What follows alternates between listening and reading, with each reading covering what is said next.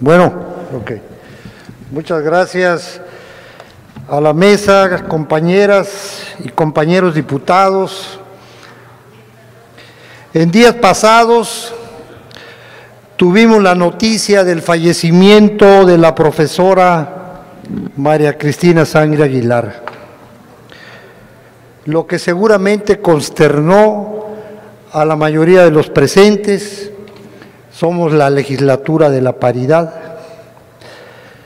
Quiero decirles que María Cristina es una mujer profundamente incorporada a la historia de Quintana Roo, ligada al destino del territorio federal por voluntad propia, luchadora por los derechos de las y los quintanarroenses, partícipe de las negociaciones y los justos reclamos que impulsaron la conversión de territorio a Estado libre y soberano, y de ahí en más su carrera política se vuelve ejemplar, como su activismo cívico, su liderazgo entre la gente más necesitada del Estado, que siempre la tuvo cerca.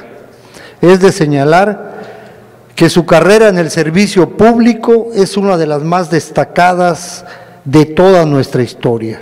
Y vale la pena mencionar que es una de las pocas personas que han logrado más de tres o cuatro cargos de elección popular, lo que también da cuenta del respaldo social del que gozaba y que se ganó con su trabajo, pero sobre todo con su cercanía con el pueblo llano.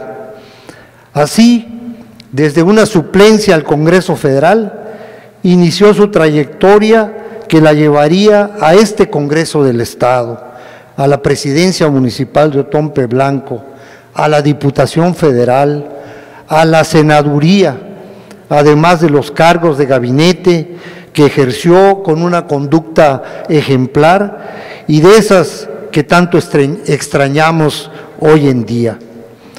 Por esa trayectoria, por su trascendencia en la vida social y política de Quintana Roo desde los tiempos del territorio federal, quiero pedir a esta legislatura que se organice un homenaje a la profesora María Cristina Sangre Aguilar, reconociendo su trayectoria, su vida, sus méritos y demostrando que el compromiso y la pasión por Quintana Roo y por el servicio público honesto, bien valen la pena que las y los quintanarruenses seamos capaces de reconocer esas cualidades.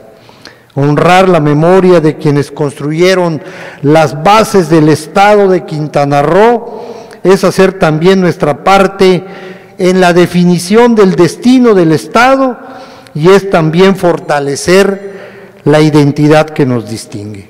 Muchas gracias, compañeras y compañeros.